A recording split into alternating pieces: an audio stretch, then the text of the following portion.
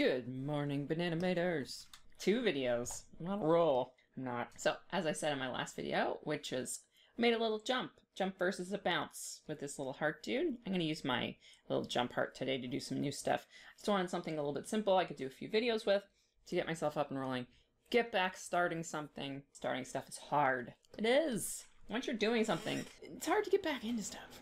But let's just do it. Let's if you have a thing you need to do, just do a thing. Do a little bit. Find something simple you can do. Start the thing. So if you have videos that you want me to do, if you want to see something, you have questions, please leave them down below. That way I know what kind of videos to make, because most of the time, I just don't know what to do. Anyway, today we're going to offset our keys and be really lazy. We're going to make something that looks like it was way more work than it was by taking one little animation, a boopy doopy doop, duplicating it, offsetting all the keys, and we're gonna make a little heart wave. It's gonna be really cute. Heart wave. So we need a bunch of hearts. I'm gonna copy this heart and paste special because if I just paste, you're gonna get a clone. Anything I do the first one is gonna happen to the next one.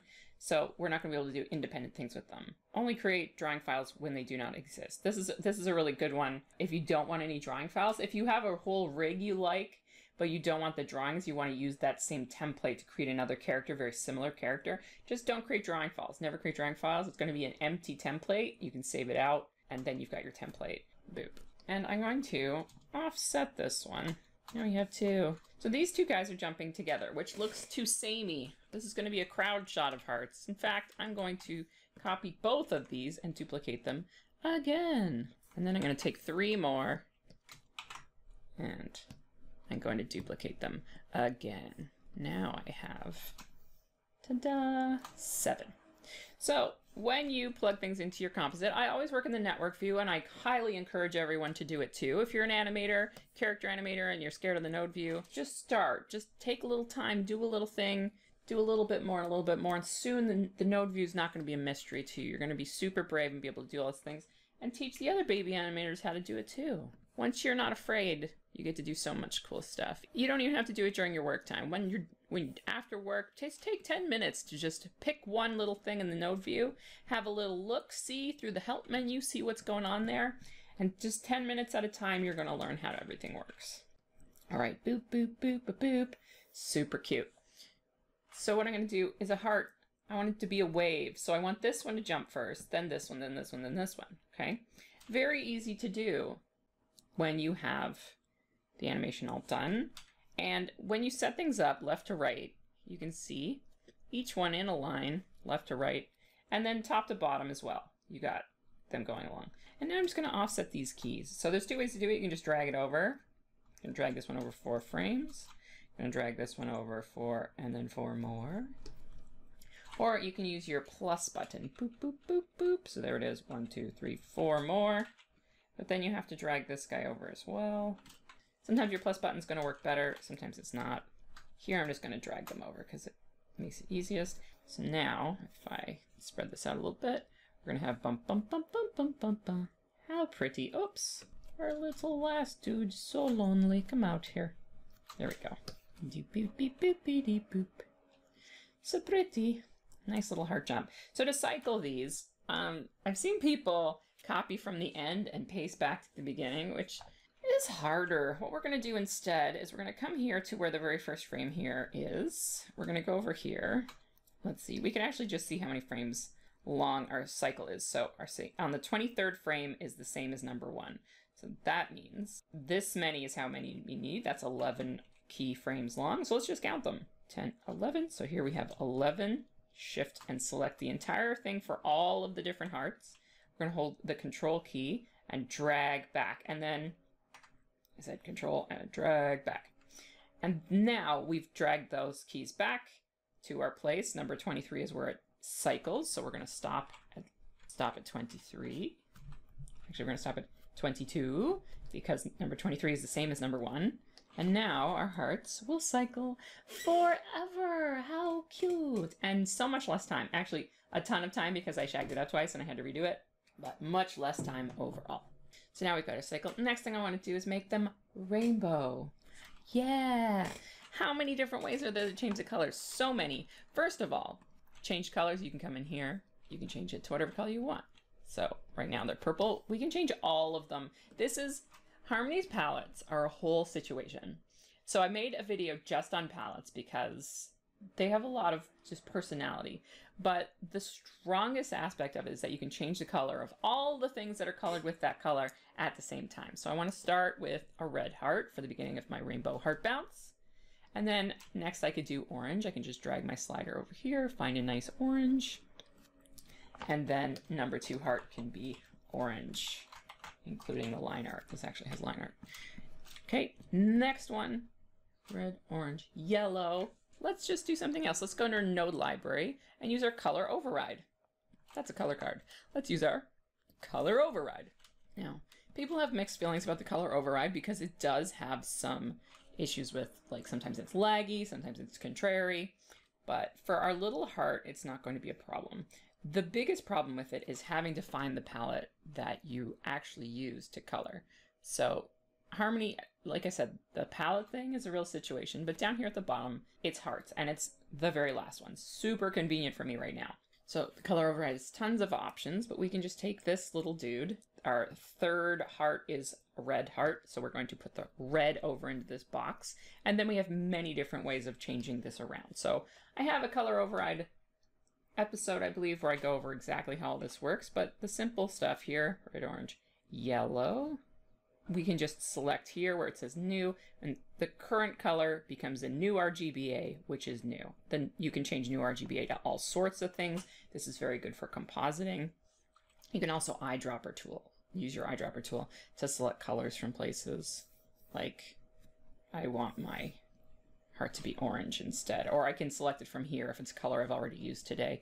Frequent, like recently, it's going to hang around. What I really would like is an eyedropper tool for the palette list. So I could say, oh, I want to change this color. I can just eyedropper that thing, but it's not there. Mm-hmm. Red, orange, yellow, green. So next one, another one we could use. Let's just type in color. We're going to get all sorts of stuff. We have a color scale. Yes, that's the color scale and we can change green to a bajillion and red to nothing. Now the color scale in this particular, I have to change it to something else. It doesn't want to change the pure red at all, but we can, there we go. This one work is working better. I, I hooked it up to a red one and it was just not having it. Let's try it on this one, heart number seven. Yeah, with this pure, like, super red heart, it is just, the hue slider is just not working. Why is that? But if I change it to purple, this one works really well. You can see that changing the hue slider will give me a lot of options here. I can change it closer to green and then bring it more towards green by turning down the other colors and muck about that way. So it takes a little bit of mucking about, but you could definitely use the color slider most of the time. Apparently it doesn't work on pure red, which is fascinating. But the color slider is another way you could change the color of this red, orange, yellow, green, indigo, which is kind of not a color at all. So we have a hue saturation node. We can slap that in there. Let's see. I would like you to colorize this, and then I can use my hue saturation lightness, or I can come in here and try and figure out what indigo is. It's like halfway between blue and purple. Blue and purple. I don't know. Here, green, indigo. No, this one should be halfway between green and blue. Duh. Colors are not my strength. So that's most of the ways. There might be another way in there to change the colors, but just changing your palette color is one way, just recoloring them. If you're gonna be using this for other things, like if you were, these were rigged characters, you would want to make a new palette in your color palette. You'd want to come in here and just have all your hearts have their very own color because it's going to be the lightest thing on your computer. But if you're just doing a little GIF for um, a client or for your web page or just to put on Twitter just to be like happy pride, then using a bunch of different stuff like this is going to be to- totally fine and lazy. And I think the the easiest one is the hue saturation node because you can just colorize it and then say, okay, the next one in the list is blue. Make a nice blue. And then the last one in the list, colors can be changed here too. So now we have our happy little rainbow jumpy jump, but in our OpenGL view, it's not, you can't see that. So that is a downside. You have, you, you can't see it here. Some of them you can. So the color scale does update in OpenGL view.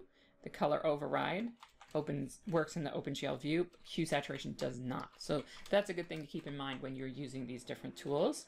But the best way, of course, is to keep your palettes very clean, which is difficult, um, and then be able to just change the colors independently. That will keep you the happiest in the long term if you're doing a series. If you have something something that needs to be done a long time, changing the palettes is absolutely the best way. So let's render this out. We have our little happy heart loops jumping up and down very quickly. This offsetting keys things works really well with pendulum swings, arms, things like that. I did a video on arm swings, I believe, or pendulums somewhere back in the day, and this is the type of thing I did where I put all the extremes first and then I just offset them and then cycled them back because we don't want to do anything twice. We're very time time poor in animation. We want to do things as quickly as possible. So there's no reason to make all these different hearts separately. Now that you have this done, it's very easy to go back and say, oh, I want each heart to have its own little personality. So you can take this little dude and make him super duper squished. There we go. Super. Make sure we're on a keyframe. Yikes. Boop, boop. And squish him down some more and then have the jump start like this. So, oh, that's on all keyframes mode. Ah, chaos. Squish them down like this. So we can now just change a few little things about that second heart, which is impossible to see on the gray background. And that one has a little bit more personality. This one here, we can have it hang up a little longer, turn on our onion skin. So the hang time will just increase it and then give them shorter, like a much more intense bounce like this. There we go. So just change a few keyframes there. So now our cycle, our uh, red heart is our generic heart. I'm going to change the orange to something a little bit more visible just for camera. So the second heart is a little bit uh, spends a little more time on the ground. You can even make its jump a little bit lower in the sky. The yellow heart's got a little bit more energy. So you can just go through, tweak your keys a little bit, and you're not starting from scratch. It's going to be much, much faster, and you can give all of them their own personality. They're going to be cycling at the same pace. We have 71 scenes to do this week. You got to go fast. So hopefully that was helpful. So leave your questions down below for what you want me to make videos about, because I just don't know, but I'm happy to make them again. I think I, am glad I'm I'm glad I'm starting again. This is going to be fun in these the pandemic days where I'm like I'm in the part of the country that's still under a pretty heavy lockdown, so we can't really do anything anyway. so throwing a video in once a week is going to be good for my brain, I think, and hopefully yours too. Hopefully we learned a thing. So thanks for dropping by. Like, share, subscribe, all those things internet people ask you to do, and I will see you in the next video, I hope.